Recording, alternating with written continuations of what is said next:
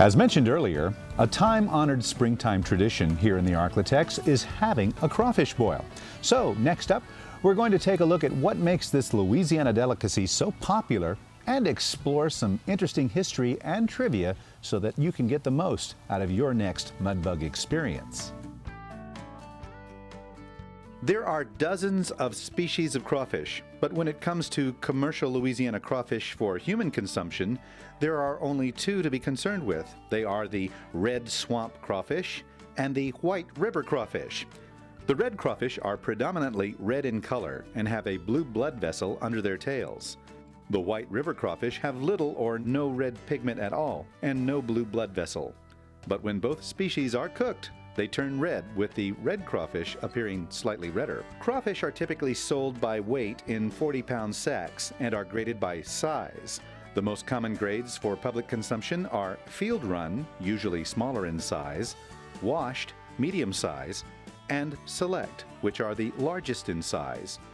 When buying live crawfish, you'll want to ask around and check with vendors who have good reputations for quality, consistent size, price, and quantity.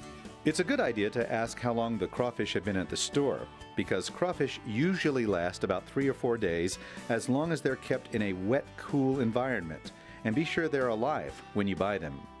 When it comes to boiled crawfish, the most common recipes include a good commercial seafood boil from the store. Other ingredients can include lemon juice, pepper sauce, whole ingredients like peppers, garlic, onion, small red potatoes, corn on the cob, celery stalks, whole mushrooms, and smoked sausage, all added at various times throughout the boil. If you come across a cooked crawfish with a straight tail, check it out carefully, as it may have been a dead crawfish before cooking. Peel it, and if the tail meat isn't solid, don't eat it. Throw it away. Eating crawfish is probably more about socializing and visiting with friends and neighbors, as it is better held outdoors during the cooler springtime months. It is definitely a Louisiana tradition that's a big hit here in the Arklatex. For crawfish recipes and other tips, go to our website, arklatexdiscovery.com, click on the Story Links page, and scroll down to Crawfish Recipes and Info.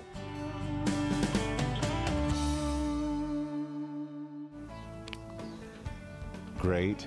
You know, today's digital technology has really changed the way we take pictures. It's amazing to see all the things they can pack into a tiny camera like this. But at the rapid pace of today's technology, it's hard to keep up with all the changes. For example, what kind of camera should I buy?